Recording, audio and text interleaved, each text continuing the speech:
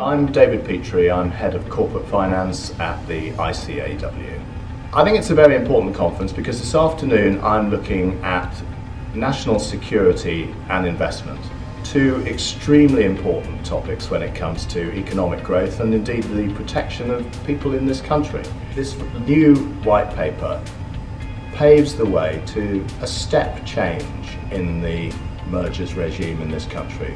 Hitherto, we've had a very open market for overseas investment in British companies, but now there's a certain amount of concern raised by national security interests, which mean that it's perhaps not such a good idea for overseas acquirers to be getting hold of some of the core technologies that we're developing in Britain and which run to the heart of our national security. And that may include some areas of um, telecommunications, it may include the developments in artificial intelligence, and it also includes dual use technologies which have both a civil and a military application.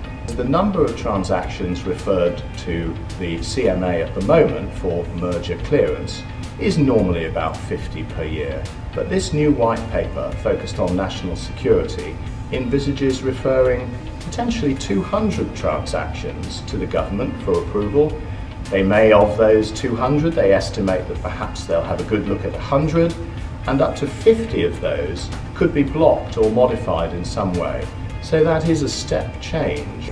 What we'd like to do is make sure that the regulation works efficiently and effectively, doesn't slow down investment in these high technology businesses. So the implications for advisors are, first of all, they need to think very carefully about the nature of the business. And also for people advising on infrastructure transactions, they'll need to think very carefully about um, uh, who's involved with the deal and whether the nation state uh, is currently enjoying good diplomatic relations with, with this country. Huh?